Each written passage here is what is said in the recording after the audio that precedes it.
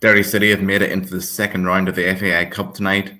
They defeated non-league side Oliver Bonds Celtic by a thumping 7-0 scoreline at the Brandywell this evening.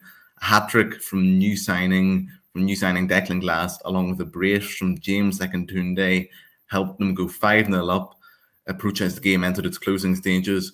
Debutant Mark Connolly and top scorer Jamie McGonigle off the bench came on to add more woe for Oliver Bonds Celtic. Uh, the game, Derry were obviously favourites of the game, the Premier Division outfit against the non-league side, and they started off living up to their rep. Ryan Graydon, in particular, was threatening early on. Glass converted countless chances that he created in the first half. One of them, a penalty on the in the 40th minute that sealed a first half hat trick. A very impressive feat indeed.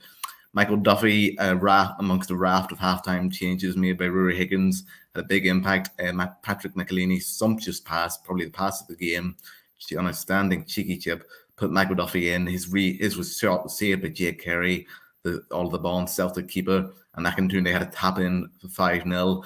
Uh, the subs kept on coming, the, the flow of the game was still good, still energetic. Um, the away side, they certainly they toiled hard. Their forward, Ali Souche, a real handful at times. The Derry defence kept them on their toes.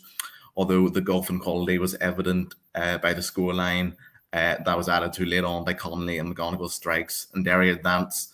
They hope to take this momentum into their game with Dundalk in the league next weekend.